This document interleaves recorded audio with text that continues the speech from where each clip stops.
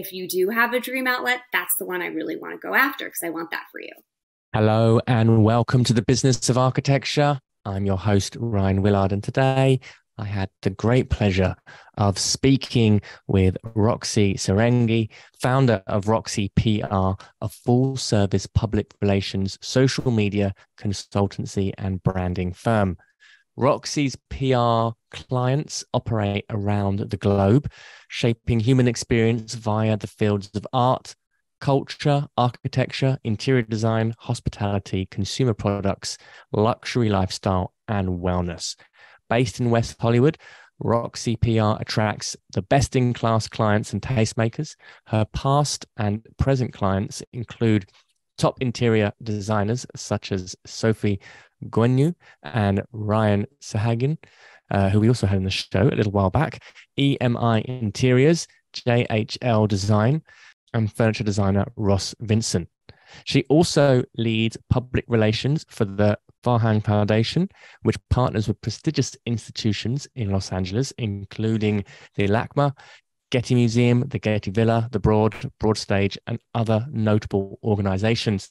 For more than a decade, Roxie has been the senior PR consultant for Communication Arts and Design Incorporated, which specializes in the cultural landscape of California. During her time at the firm, she has focused on the architecture and design fields, supervising PR and marketing campaigns for PHX Architecture, Rachlin Partners, Mark Weaver and Associates, Bernard's, Snyder Diamond Showrooms, Soli Architectural Services, and All Coast Construction, many of which you will recognize as have been previous guests here on Business of Architecture. She also handled the publicity for legendary songwriter Carol Bayer Sager's solo art exhibition held at the William Turner Gallery in Los Angeles. So, really brilliant to actually have Roxie on as the guest, as we've worked with her here at BOA um, for a few years where she's been brilliant in actually helping us have many of the guests that you've enjoyed in the past. So, in this episode, we discuss the importance of storytelling, of image shaping, and you telling your story and what that means in the context of PR. Um, Roxie gives us a masterclass in what is PR and why um, it's such a strong and important element in your marketing. And we also look into some of the nuances of when is the right time to begin PR? What do you need to get the most from it? Um, are you ready to be doing it? What's the kind of traditional PR route and who is it best suited for? So, a lot of great stuff in this conversation. Sit back, relax, and enjoy Roxie Sarhangi. This podcast is produced by Business of Architecture, a leading business consultancy for architects and design professionals. This episode is sponsored by Smart Practice, Business of Architecture's flagship program to help you structure your firm for freedom, fulfillment, and financial profit. If you want access for our free training on how to do this, please visit smartpracticemethod.com.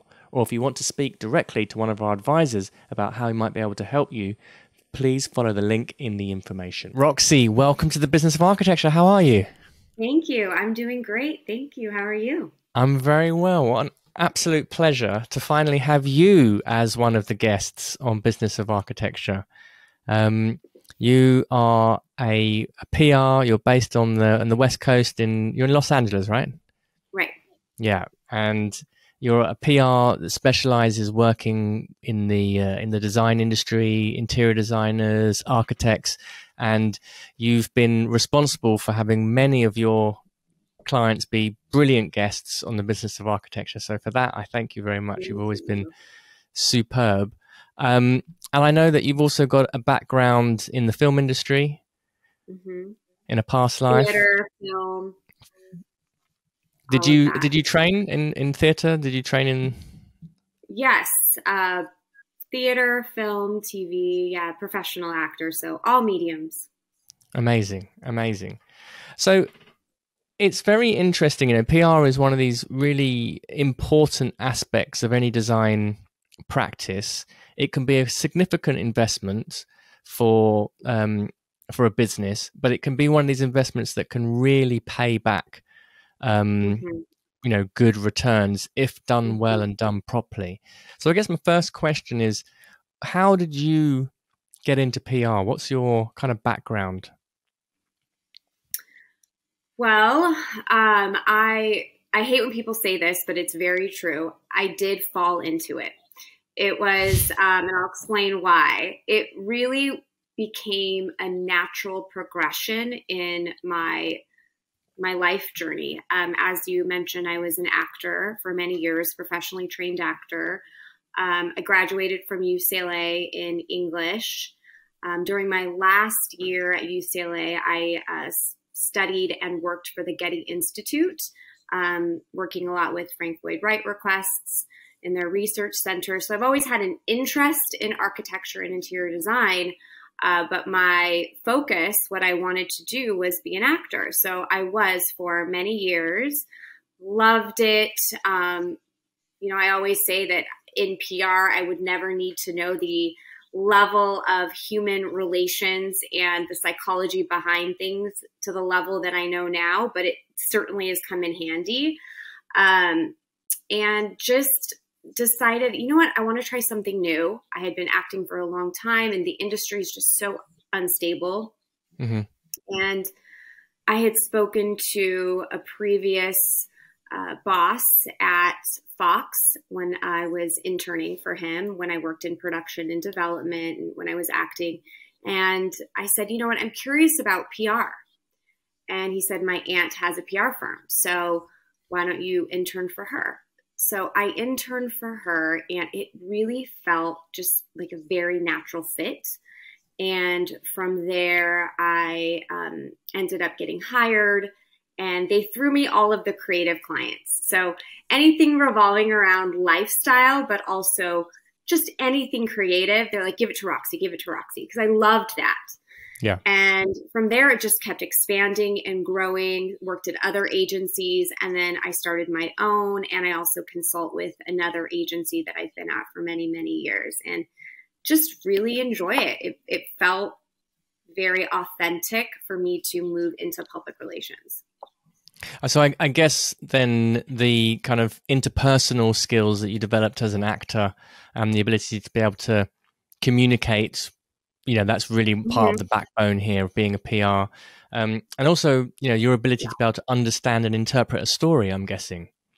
Absolutely kind of... so I, I mean you hit it on the nose. Um, really telling a story. That's what i look at as a fundamental part of public relations is telling your client's story. So what makes the person unique, what makes the business unique, and telling that story in a creative way that's also persuasive. So, in acting, I certainly learned how to make things interesting, how to tell the story, um, really understanding human relations and why we do things. So, for me, I love working with the client on the why. Why did you get into interior design? Why is your work different than others? Why architecture? When you designed that performing arts center, when you designed that building, why did you do it this way? What considerations were put into it? Um, what were the challenges? What is something that happened that you wouldn't expect? So just finding out all the layers and asking a lot of lot of questions like a journalist mm-hmm. and getting that information and retelling that story in a creative, unique way is really a passion of mine. I love telling the story. So so what is what is what is PR then? How would you describe it to a like a new client or how do clients know when they need PR? It's again, it's one of these things that yeah. there's a bit of a status symbol around having a PR as well in architecture. Yes. Certainly, there's something kind of cool about yeah. Talk to my talk to my talk to our PR, and and it's talk also and, and, she said exactly, this. Exactly, there's a kind of accolade that comes along with it, or there's a marker of success in just being able to hire a PR. Um, mm-hmm. But what is it? How would you how would you describe it? Well, there's lots of different types of PR. So I'll start there because if you talk to one person, they may tell you something different than another. But generally speaking, PR is providing the public with information about your organization or brand um, that's that's done in a positive way. So um, really showing uh, how a person feels about the brand or person or company. And as I mentioned, you want it to be positive, right? I read something once that said that PR people are uh, image shapers, which I thought was an interesting way to put it. Um, I look at it as we're storytellers. I'm telling I'm telling your story in a very authentic way, uh, finding out the truth of why and how you do things, and also just showing it and showcasing it in a way that uplifts. I really like mm. uplifting the clients. You know, that's a big, um, I think, through line is how can I uplift and showcase their work. So, when a client first engages you, what's the how do you qualify them, or how do you make sure that it's the right client and that they're they're ready for your kinds of services? Is there anything that they need to do to be able to be prepared and to be able to get the mm-hmm. best mm-hmm. out of their out of your services for example? Yeah i ask a lot of questions. Uh, one of the first questions is can i see your work? Um, i need to see if it's aligned with the clients that i have if they're at a certain place in their career that they're ready for pr so i ask for images of their work. Um, i look at their website. I look at their social media. Um, oftentimes i think people might be assume that they're ready because they have projects that need to be published, which is great. And you want to have at least three projects that you want published for, you know, let's say a year campaign. That's the way I work. But maybe their website's not ready or they don't mm. have a social media presence. So before I even can pitch editors about your project or about you for potential profile stories or stories on your business or on your projects, I need to know that your website is ready because that's what a journalist is going to look at. They're going to Google you and they're going to see, okay, their website doesn't really reflect who they are. So, really ensuring that their online presence resembles what they want to project. So, that's one of the first things that I look for. And if they're not ready for that, then that's part of the campaign as well. Right. How can we update your website so it exemplifies who you are? And imagery is a big part of it. I'm often surprised at some of the images that I see because I think that there's a mindset of, well, I don't have enough images, so just putting things on the page. And I'm of the mindset of less is more. If you don't have enough images, only put up the best work. Mm-hmm. That's very interesting. And we. Mm-hmm. That's that's very interesting. So we do see a lot of um, design practices that will put up all sorts of images, every single project under the sun. And often there's a big variance in also the quality of photography. Right. Photography is so important. That's a big part of the campaign is having the right images. Because if we're just talking about just traditional media, that's what they're going to be publishing is your is your work, your images. So that's a key component of the campaign is to have strong images. And that's just one side of PR, the traditional side of PR, which is media placements. Then there's also, you know, social media, as I mentioned. And then there's also business development when it comes to introducing to the right people that could potentially hire you. Um, PR is very much related into um, how we relate relationships. So, who do I have a relationship with that I can introduce you to? Um, and perhaps that there's a business that could be done in the future, maybe an architect meeting um, a builder or a designer meeting an architect. So, really having people meet each other, um, creating that great synergy there. There's panel opportunities, speaking opportunities. So, there are lots of different ways to engage and work in this umbrella of public relations. And each public relations firm will have a different way that they go about it. I have a multi tiered approach. So it's traditional media, social media, then there's the business development side, um, there's um, opportunities for public speaking. So there's lots of different avenues to build your business, your brand, and your persona. So when um, clients are approaching you, you use this word campaign, and it's an interesting word that I'll often hear marketers talk about. What what does a yeah, campaign look like? Campaign. What what does it mean? What for you? What is it? What is a campaign? How do you go about designing one? What's included in one? after I have the initial meeting with a client on what it is that they're looking for, that's one of my first questions. When you think of PR, what do you think about? Because as we've talked about, so many people have different ideas of what PR is. So I always ask, what do you think PR is? What do you want out of PR? Sometimes people don't know. I don't know mm. what I want. I just want PR. Okay. Well, let's talk about what that means. Do you, are you looking to build your business?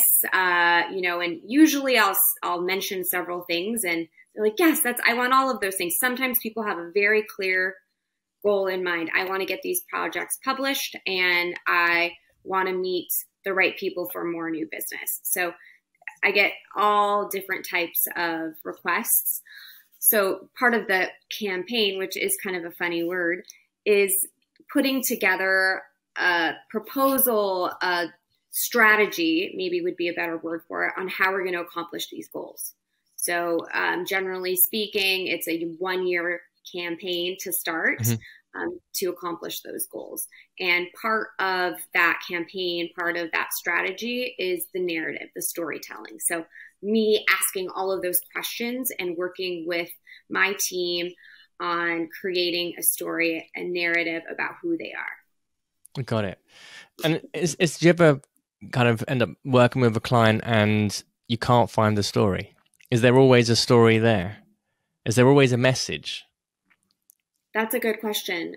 There is because I will ask enough questions to find a story. Because mm-hmm. if you think about it, just being alive gives us a story. We all yeah. have different emotions. We all move through the world differently. We all have different human experiences. And every person is unique.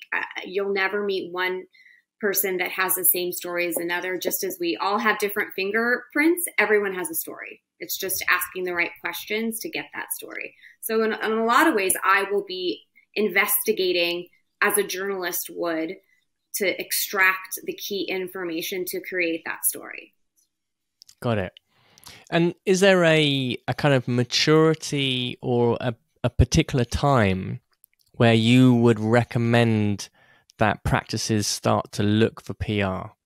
Like, is there there's mm. certain kind of key milestone events that you often see clients approaching you to start doing PR? Do you typically work, you know, just in like you say, like a year long campaign, or do you have people engagements that last for decades, if you like?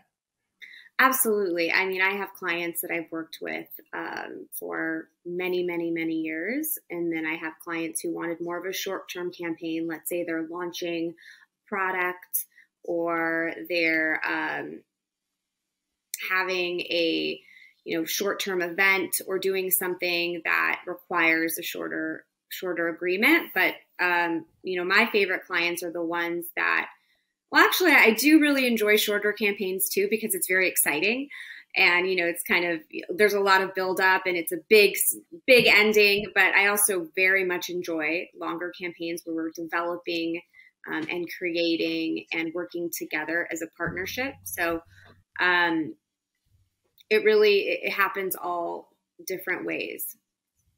But you asked a particular question that I don't remember now. um, yeah, is there is there a kind of a certain oh, set of when events? Yeah, when? Yeah. I think it depends on one if you're ready to up level because oftentimes I find when we meet, there is a time requirement first that I'm going to be asking you a lot of questions up front to create your story. So, are are you ready for that investment? Because it does also require you know, financial uh, means to hire a firm, hire a consultant, and do you have enough projects under your belt that you want to get published? Um, that's a big part of it, and those I think are the two most important things. If you have enough projects that you want to get published and if you're ready in your career to up level. So it doesn't it, so it's it's less about kind of just one-off projects and much more about having a little portfolio of things that are ready to go. Yes, and so portfolio does, of projects. Does it matter in timings? Is it because it kind of important to It does matter. Because if you did a project 10 years ago, it's not going to get published now unless we come up with an incredible story as why it's relevant today. Um, so you want projects that are recently completed. Um, there's also opportunities to write uh, profile stories on your brand and your business and who you are, but just having enough content that we can use, a publicist mm-hmm. can use to um, showcase your work. And as I mentioned, there's other ways to work together too through social media and through different events where you're speaking potentially at a panel or you're doing a talk, um, other ways to do public facing types of projects. So it really just depends uh, on where you're at in the process. Um, I wouldn't suggest someone just starting out getting PR. You're not ready mm-hmm. for it. You're, if you're new to your industry, it doesn't make sense for you to have PR. It makes sense to have PR when you're at the point where you want to showcase your work, when you feel proud of your work, when you feel like you're ready. Um, you know, we're always developing and changing and growing. So not to inhibit if, if oh you know that project wasn't my favorite or this or that. It's just really when you when you have the sense of i'm ready to show my work to the public. Yeah. Now that's that's interesting that it's not something that you'd recommend a kind of a practice to do straight off out the gate for young practices. And i guess this is also part and parcel of why there's a bit of an accolade or a milestone in, of mm-hmm. success to have a pr because it kind of you know the prerequisite for it is that you've got a portfolio of work which is worth publishing and worth showing off. Yeah, um, I would say three three projects that you're ready to get published. With that though, if I worked with people before where they weren't really ready for a full blown campaign, but they needed some help with certain things, and I worked with them as a consultant to help that process until they're ready for mm-hmm. PR. So getting published, you know, what what kind of things are magazines looking for? What would be your advice um, for for preparing a client to get ready to, to get published for a magazine? Does it need to be a specific project? Can you get published? Can you publish projects which aren't complete? Does that ever happen? Um, potentially, if it's a room that perhaps like a, a magazine or is doing a story um, on a certain theme, like kitchens or living rooms, or there is a potential there. But generally speaking, you want it to be a completed project. Uh, and when you're ready to do that is when the project is complete. So you need to take photos. There's like several steps. First, you want to take photos of the project. I've heard people say even having a story in mind before you take the photos so that you can capture the images in the way that tells that story. Um, detailed shots are really important. I'm noticing a lot more magazines uh, showcasing work that have more of a vignette, so you get like a little feel for for a certain area. Um, there's all different types of styles. When every magazine has their own way that they like to create their narrative and their story, and there's also every month the magazine has a theme. So having your your project align with whatever it is is that they're they're talking about or showcasing that month. So what what is your relationship then with journalists? How do you kind of convince the journalists that this is the right project that they need to have in the magazine? What kind of um, structure do you you use to have that conversation? I think this is where where relationships are really important because journalists, editors, they receive so many emails and an incredible amount of submissions. Upwards of 200 emails a day, sometimes more. So if you don't have that relationship, this is why people hire a publicist is having a relationship with an editor or a writer or a journalist someone that will actually open your email and see what you have to say. And from there, it's your story and the images. So, what are you showcasing? And is this a good story? Is there a hook, as we say? Is uh, why now? Why does this magazine need to publish this now? Why should this newspaper publish this now? And then there's broadcast opportunities as well. For example, I had a um, designer who did a feature about New Year updates. So we aligned it and timed it with the new year. Um, there could be a story on green buildings. Maybe there's a publication that's doing uh, a focus on that theme. Or I'm seeing a lot right now with trends related to non toxic furniture. So not only do we, one, create the story, but two, we align with the news. That's what a good publicist does. There's, there's a couple of different ways to go about it.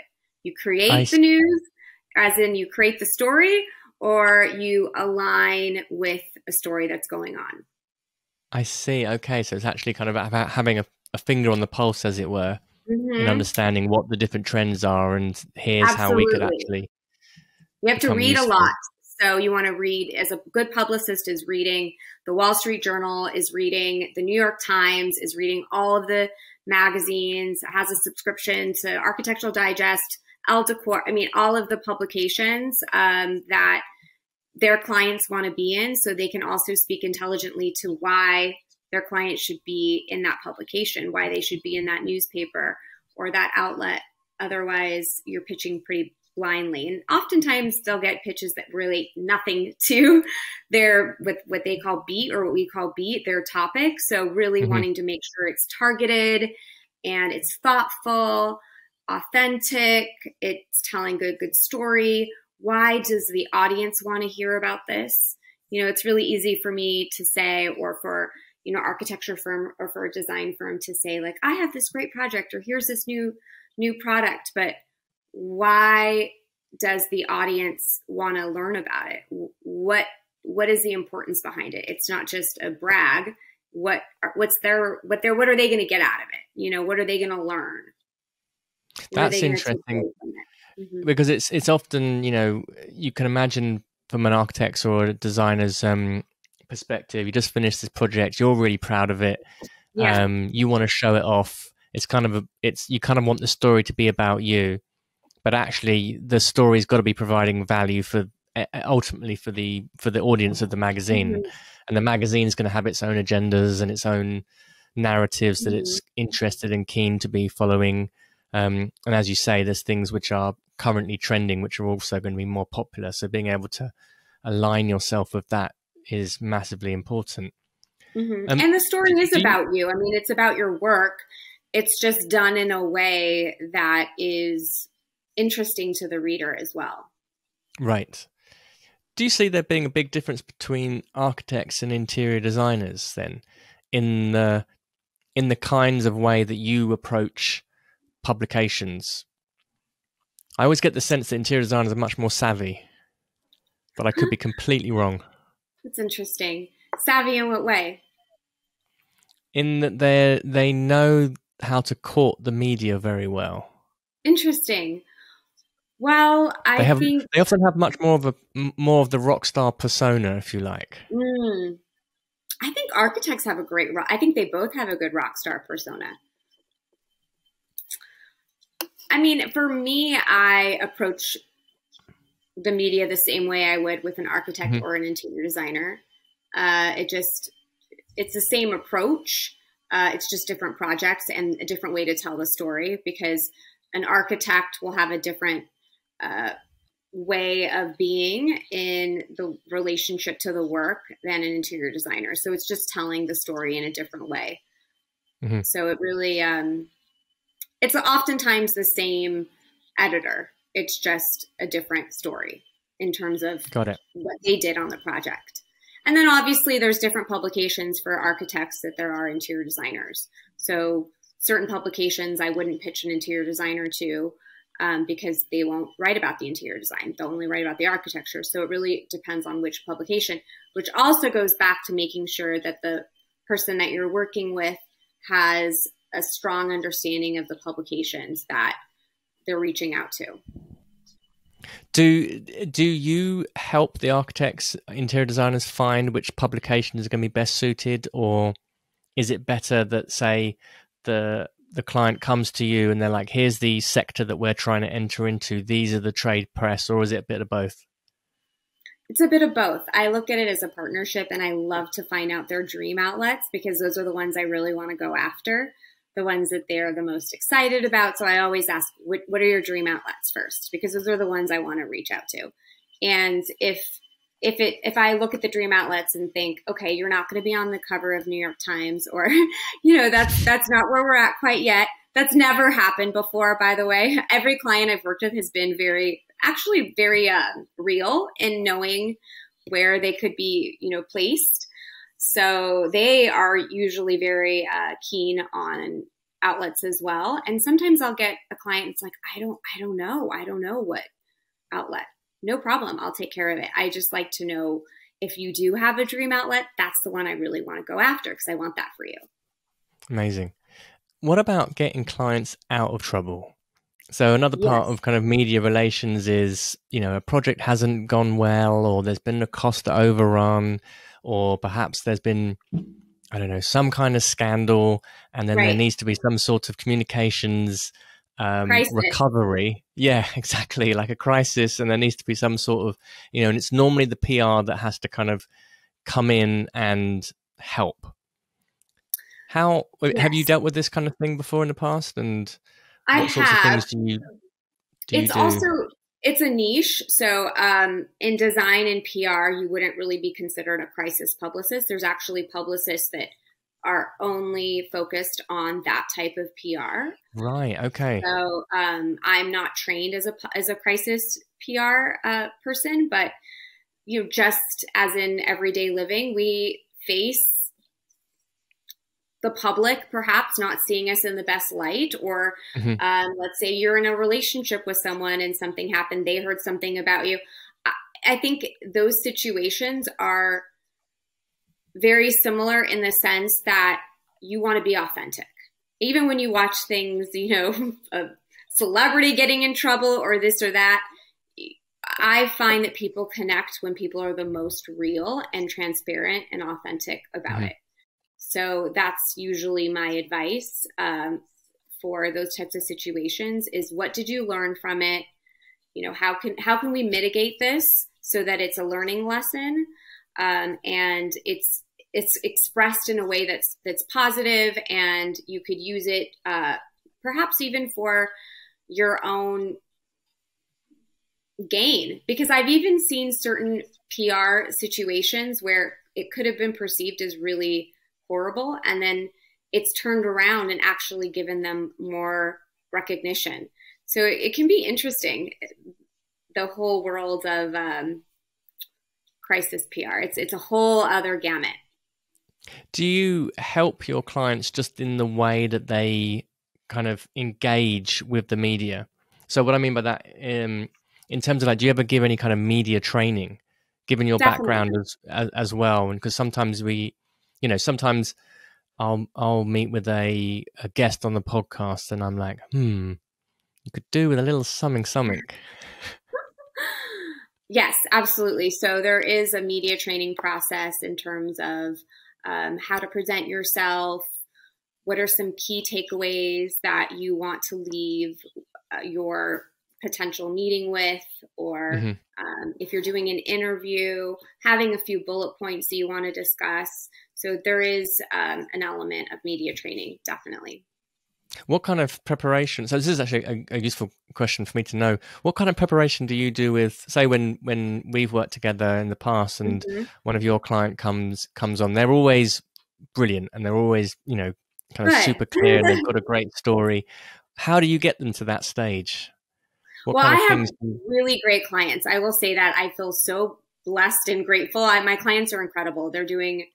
I'm being a good publicist, but it's true. I have fantastic clients and they're top of their game and their their work is stellar. So it isn't too difficult for me to have them communicate their work.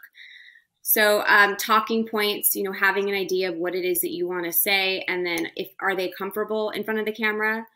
Uh, really, it's talking to a friend, uh, mm-hmm. really just connecting. So we do go through some of this, and you know, if they need more work, I will have them work with someone who is a media trainer specifically. So there's there's specialties in everything. Just like there's a specialty in, you know, crisis PR, there's a specialty in media training and I'll certainly do work with clients in that way, but if they need more help, You know, I've I've had a client in the past that was petrified, petrified of being on camera.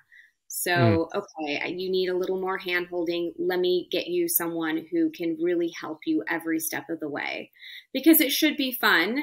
In a lot of ways, it is fun. And I found through my own back acting background that excitement and nervousness is on the same chord. So if you're nervous, you're probably just excited. And how can you use that energy to have a charismatic nature or to express that energy in a positive way instead of a way that feels fearful or small?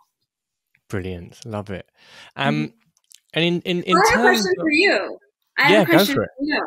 So, because I've had um, a lot of clients on your show, thank you so much. It's been wonderful. What have you noticed? So, I pitch you and mm-hmm. I send you emails. And before we didn't know each other, and I would, I sent you, you know, requests, and you probably receive a lot of people reaching out to you for your show.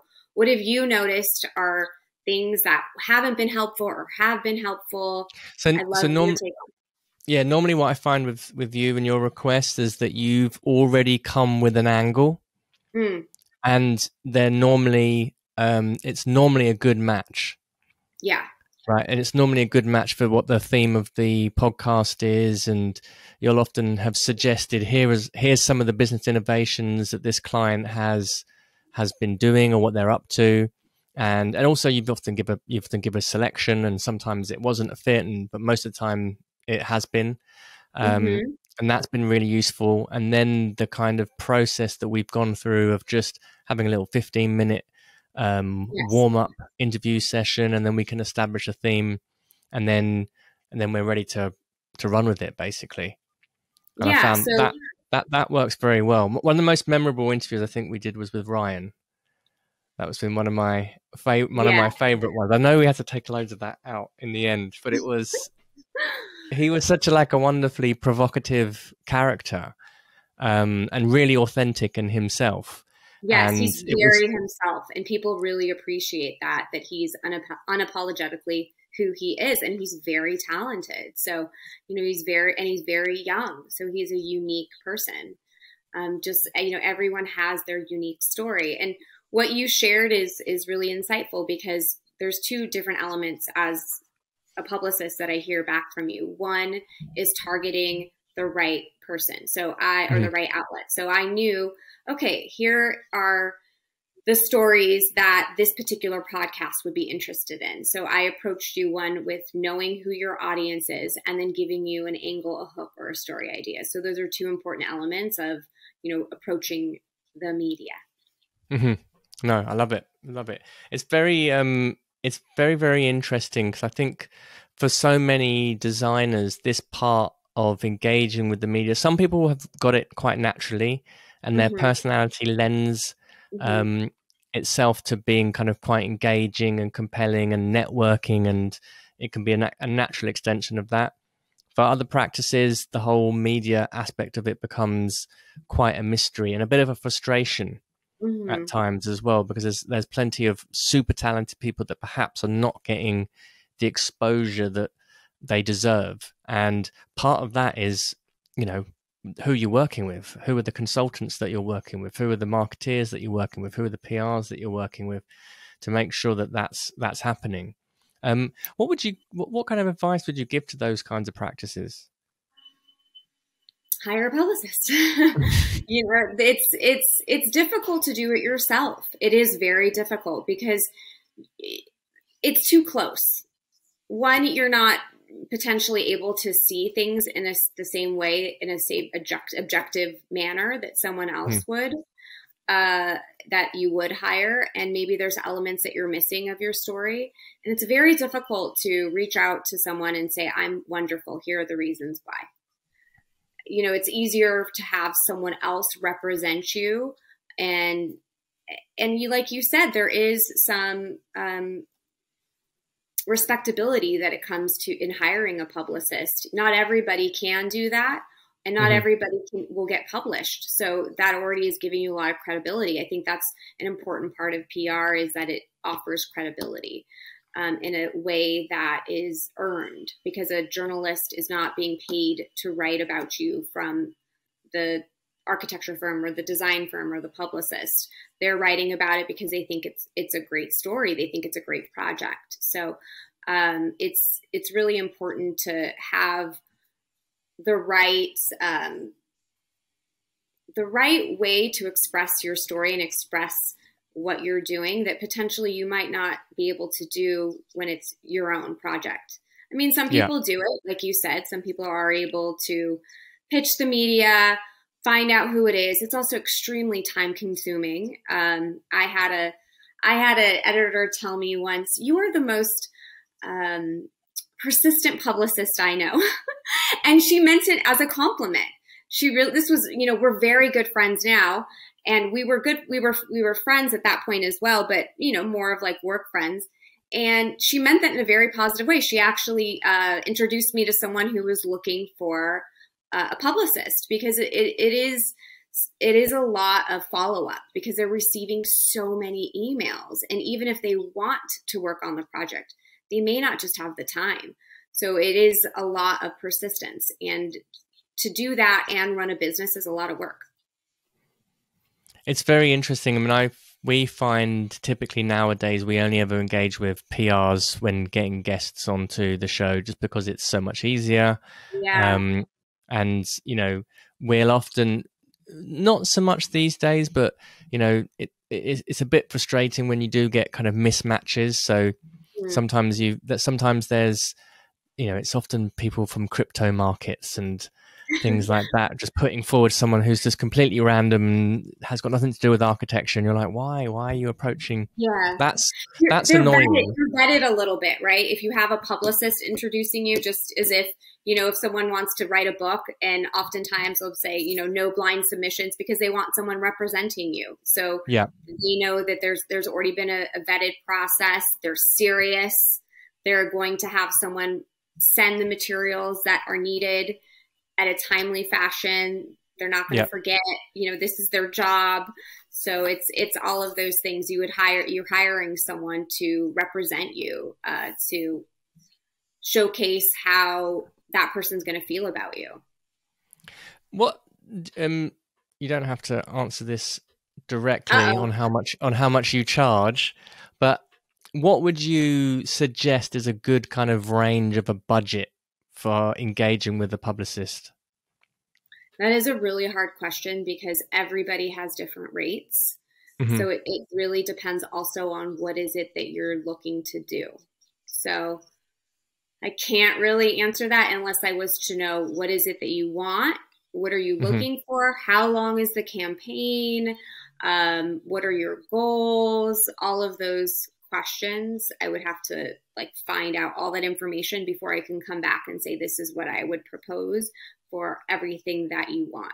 But just, you know, think about if, if you were hiring someone in house to do your mm-hmm. PR it's uh, probably going to be less if you hire someone outside than if you hired a full-time staff person right got it and and for small practices or startup practices if you like who perhaps they're not ready to hire a pr or publicist what kind of activities would you recommend them doing themselves what kind of things can a small business do themselves before they're ready to actually hire someone like yourself I would say making sure that there a website is so important. That's your calling card. So making sure that your website really aligns with what you want to represent. So do you have the right images? Is there a great narrative about your firm? Um, your social media. Do you have a social media presence? It's better to have no pictures or one picture than a hundred terrible photos. You know, you mm-hmm. really want your imagery to showcase who you are, your brand, you know, everything that I've said before. It's just, you know, I say this again and again because I'm oftentimes surprised at some of the images that I see. As you mentioned, it's like, you know, people put like little detail shots in all of the images, and it's like, you don't need that. You don't need to put everything out there, only the best images. Uh, so I would say those are a couple things that you can do if you aren't ready to hire a publicist. And again, you know, there is opportunities for consultancy and working with someone um, just to get a couple things going before you actually um, hire a full campaign. Have you come across um, some of these services like Bowerbird? I've heard of them, but I'm not familiar with what they offer. So they're kind of like uh, kind of more do-it-yourself or mm. like online PR solutions for smaller practices. Mm. I was just curious to know what your thoughts were on. You know, I've received some emails from them, and uh, I don't know what services they offer, so I can't really speak to that. Um, Got it. But I mean, it, I think I think it depends on if you have the time and if you have the resource to try something like this. I mean, I know I know a couple designers who have relationships with editors and they get projects published that way. So it certainly can happen. Um, it just depends if you have the bandwidth and are able and all of those things, or if you're really looking for a more um, tailored approach. Brilliant. What do you have planned for the rest of the year? For the rest of the year, in PR or my life? um, no, in, in, PR. In PR, you know, I, I, like I said, I'm really feel grateful. I have wonderful clients, so just maximizing and uplifting them as much as possible and getting their story out and having them grow and expand. Really, I'm, I'm excited for who I'm working with right now. Amazing. Brilliant. Well, what's the best way? You? People... How about you with the podcast? We've got well, we've we've got some very exciting plans coming up this year where we're looking at making more in-depth types of movies, if you like. Oh. So we did an interesting kind of um, little documentary style film with Brooks and Scarpa a little while ago, and um, we're looking at doing more of these kinds of nicely, highly polished, in-depth, behind-the-scenes um, interviews, and also showcasing people's work. Uh, called the Smart Practice series. So that's why I'm very excited, and we're going to be releasing a book. So we've started Wow, I've, that's incredible. I've started started the the beginning process of working with a publisher uh, here in the UK about doing a business of architecture book. So that that I'm really Good really you. Your po- yeah. your podcast is so informative, and I really appreciate being on. And hopefully, it's helped demystify a little bit about PR and assisted. So thank you so much for having me on. I'm excited to see how the show develops too. It sounds exciting. Absolutely. Well, thank you. That's been really, really brilliant and always a pleasure to talk with you. So thank you very much. Thanks, Ryan. Good to see you. And that's a wrap. And don't forget if you want to access your free training to learn how to structure your firm or practice for freedom, fulfillment, and profit, please visit smartpracticemethod.com. Or if you'd like to speak to one of our advisors directly, follow the link in the information. The views expressed on this show by my guests do not represent those of the host, and I make no representation, promise, guarantee, pledge, warranty, contract bond, or commitment except to help you be unstoppable.